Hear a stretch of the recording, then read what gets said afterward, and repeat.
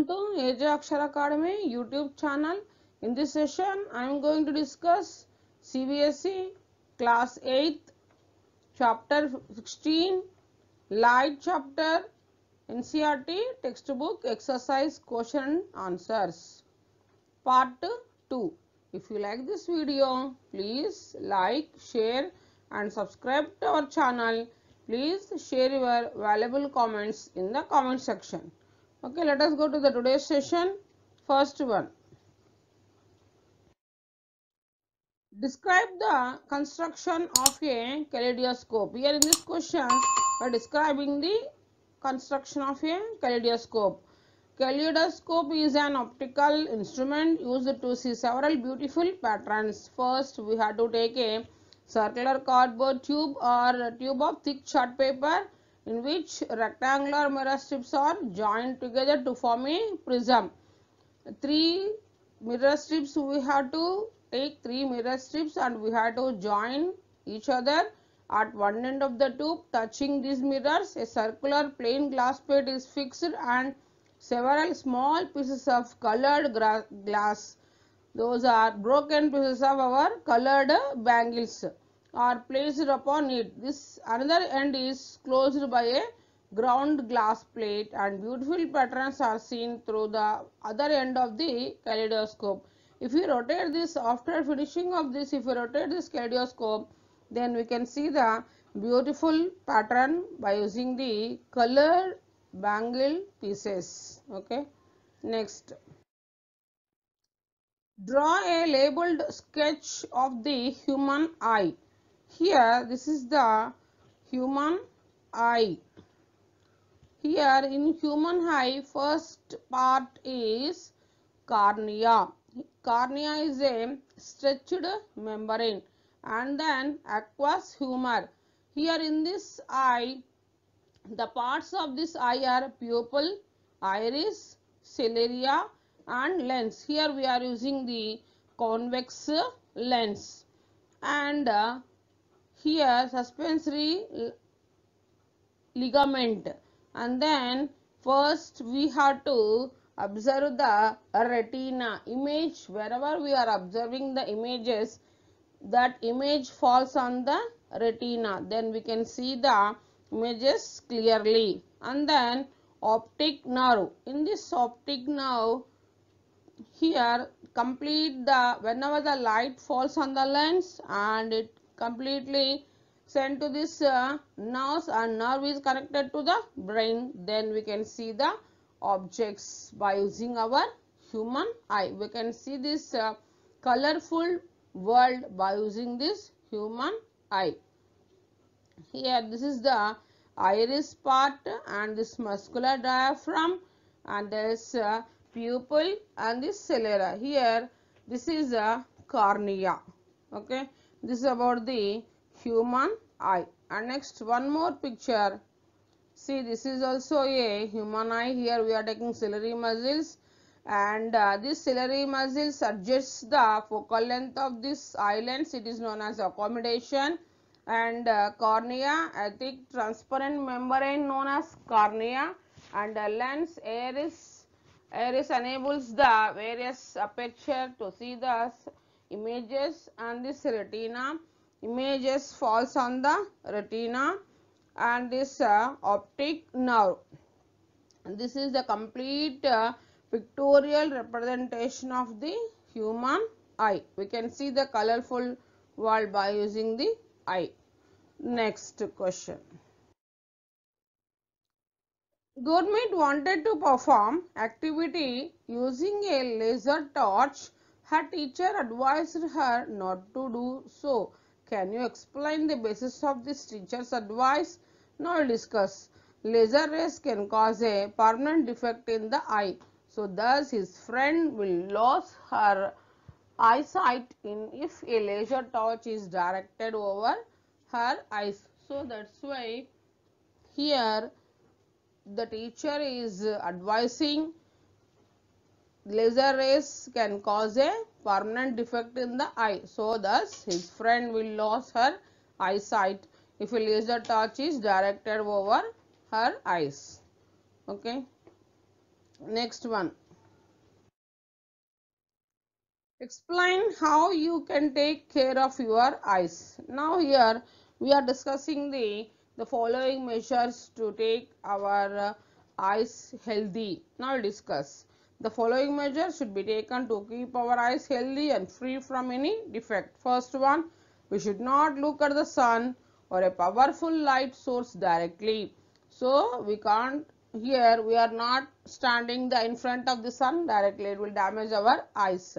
We should not try to see in too little or too much light. It is bad for the eyes. Insufficient light causes the eye strain and headache so sufficient light is better to see the objects. So it is very dangerous. The light is too little or the light is too much light. Both are dangerous.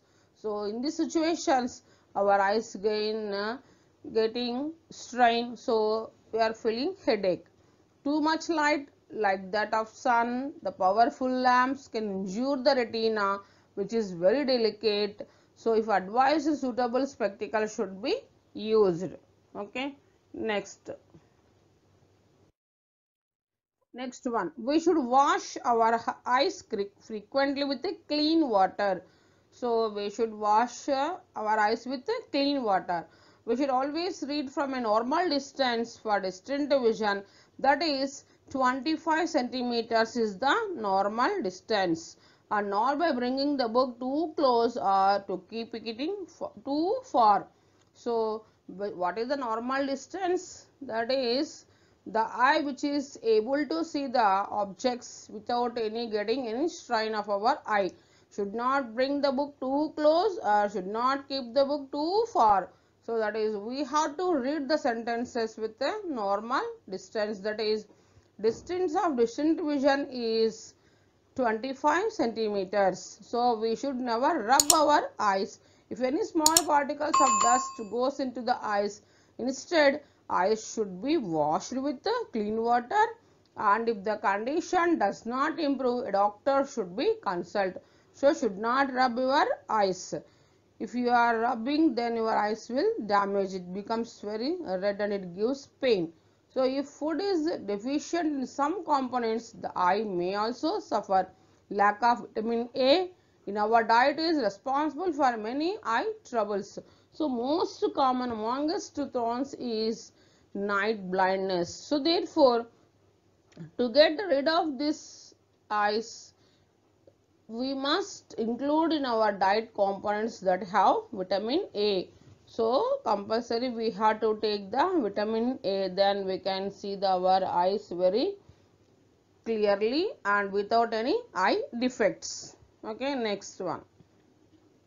Next uh, this question what is the angle of incidence of a ray if the reflector ray is at an angle of 90 degrees to the incident ray? Here in this question given that the sum of angle of incidence and angle of reflection is 90 degrees so we know that angle of incidence is equals to angle of reflection by the laws of reflection. See the figure? See in this situation they given that angle I and angle R. Angle I plus angle R is equals to 90 degrees. Then what is the angle of incidence they are asking. So first uh, from the laws of reflection angle I is equals to angle R. Given that angle I plus angle R is equals to 90 degrees. So substitute angle I is equal to angle R in equation 1. Then angle I plus angle I is equals to 90 degrees. So angle I plus angle I 2 angle I is equals to 90 degrees. So angle I is equals to 90 by 2. 2 ones 2 45 so angle I is equals to 95 similarly angle R is also equal to 45 so therefore angle I plus angle R is equals to 90 degrees. So what is the angle of incidence? 45 degrees. Angle of reflection also equal to 45 degrees. Okay. Next we'll go to the next question how many images of a candle will be formed if it is placed between the two parallel plane mirrors separated by 40 centimeters. So, the now we, are asking that if how many number of images formed if the two plane mirrors are parallel the infinite number of images of the candle will be formed if it is placed between the two parallel plane mirrors if the plane mirrors are parallel then infinite number of images are formed okay next two mirrors meet at right angles a ray of light is incident on one at an angle of 30 degrees as shown in the figure. Draw the reflected ray from the second mirror. See this figure? Here one ray of light is incident at an angle of 30 degrees. We have to draw the reflected ray from the second mirror. This is the drawing of reflected ray from the second mirror. First this is incident ray. And again we are to draw this uh, reflected ray. And this is incident ray now. And this is reflected ray. Here making an angle. Here angle of incidence 30 degrees. And here also angle of incidence uh, 30 degrees. So and again here this normal we are drawing the normal at the point of incidence which is at a complete uh, 90 degrees. Here 90 minus 30 60 so here angle of incidence 60 and similarly angle of reflection is also equal to 60 by the laws of reflection. Angle i is equals to angle r. So angle r is also equal to here 30 degrees. This is the reflected ray. In this way here we are drawing the reflected rays of the second mirror. Okay next we will go to the next question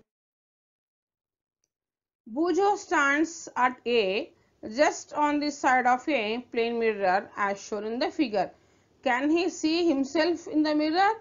Also, can he see the image of object situated at P, Q and R? See this figure? Here, Boojho stands at A on the sides of the plane mirror. Here in the situation, can see himself in the mirror? Now let us discuss. No, he can see images of an object at P but not of Q and R. See this is uh, image formations. Here Boojho one is uh, from this point he can see the object only. He can see the objects at P but he cannot see the objects at Q and R. They are not reflecting. They cannot see the Boojho cannot see the images. Okay. Next, we will go to the next question. Find out the position of the image of an object situated at A in the plane mirror. Now, first one can Paheli at B see his image? Can Boojho at C see this image? When Paheli moves from B to C, where does image of A move? Now, we will discuss. Here, this is the picture we have to find the position of image and object situated at A. Now we'll discuss. Now in this uh, we'll discuss the can Paheli at B see his this image. Now this figure 16.7 indicates that the position of the object at A. See this is the position A and in the plane mirror Paheli, Boojho and we are we are observing the finding the position of A image of A. Now can Paheli at B see this image? Yes. Paheli at B see this image. Can Boojho at C this image? Yes. Boojho at C this image can see this image. When Paheli moves from B to C, where does the image of A moves? Here, now, the, in this question, the last one is, now Paheli moves from B to C. Where does the image of A move? No change as the position of A is not changing. Only B and C are changing. Now the A is not changing. So, the image of A is not moving from one place to another place. If A changes, then it changes. So that's why no change as the position of A is not changing. Okay. So that's why though B and C Paheli and uh, Paheli moves from B to C, only the images of B should change or C should change. B to C is changing. Now A is not changing. So that's why where does the image of A move? That now there is no change in the position of A. So that's why no change as the position of A is not changing. Okay. Thanks for watching this video.